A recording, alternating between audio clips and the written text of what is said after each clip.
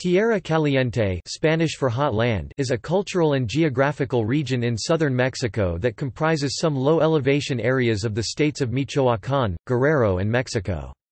As the name suggests, the region is characterized by a hot climate. The overall precipitation is also low, around 600 mm per year, but can be as low as 400 mm in some low-lying areas of Michoacán and Guerrero.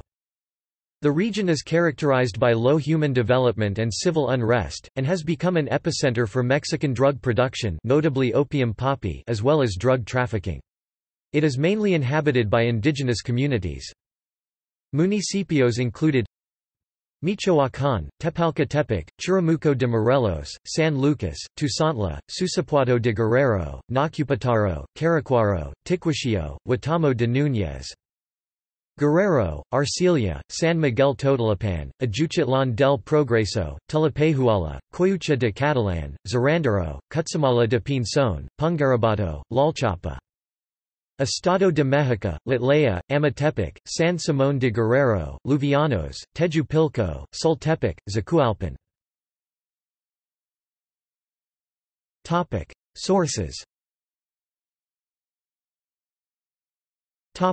References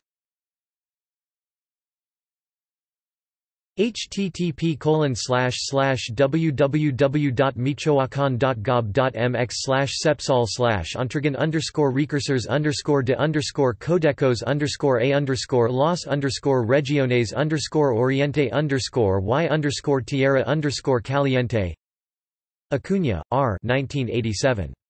Relaciones Geográficas del siglo XVI, Michoacán. Universidad Nacional Autónoma de México. Gerhard, P. 1972. A Guide to the Historical Geography of New Spain. University of Cambridge Press. Sebastian Avellaneda Jr. 2013. Information over San Lucas, Michoacán Ohio Valley University, W.V.